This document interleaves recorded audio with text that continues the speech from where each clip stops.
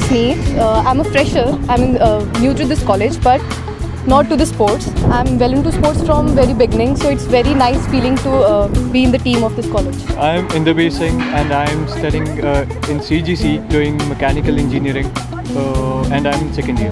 Uh, firstly, I'm very, very blessed to be the part of this team and thankful to my parents who sent me to this college and supported me in each and everything I did.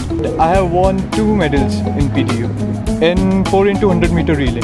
My aim is to join the armed forces. CGC has proved me very much right in everything I did. Uh, it supported me uh, proper diets with proper diets and proper uh, support from teachers, which is a very important thing in college life. I found that uh, the students of CGC have participated in so much high level uh, like uh, the inter-college, inter-universities, all India level. So I thought uh, it is a good platform and uh, it also financially supports the, uh, support the students over here.